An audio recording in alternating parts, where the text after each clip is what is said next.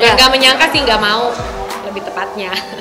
ya Nggak pengen. Git- eh, gini kalau kita sebagai juri jujur kita masih belum pengen dia keluar karena karena dari awal sebenarnya eh, kita melihat Potensi dia ya.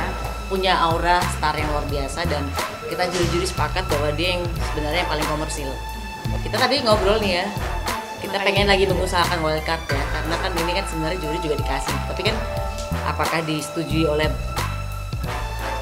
atas Pihak-pihak yang tapi terkait. kita lagi mengusahakan karena juri sebenarnya tidak pengen Uh, with all due respect sebenarnya kita bukan mengecilkan penyanyi-penyanyi yang lain tapi kan kita juri jujur belum mau dia melihat dia keluar karena dia salah satunya bukan satu-satunya Pak. Eh, dia salah satu Salah yang satu. membuat kita menarik tertarik untuk melihat show gitu loh.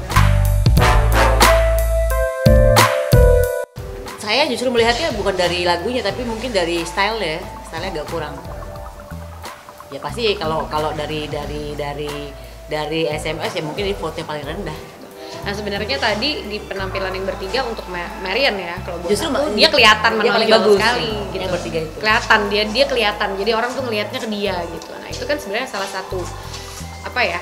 Salah satu kekuatan gitu ya. Kalau pada akhirnya dari SMS-nya memang dia paling rendah ya kurang beruntung aja hari ini gitu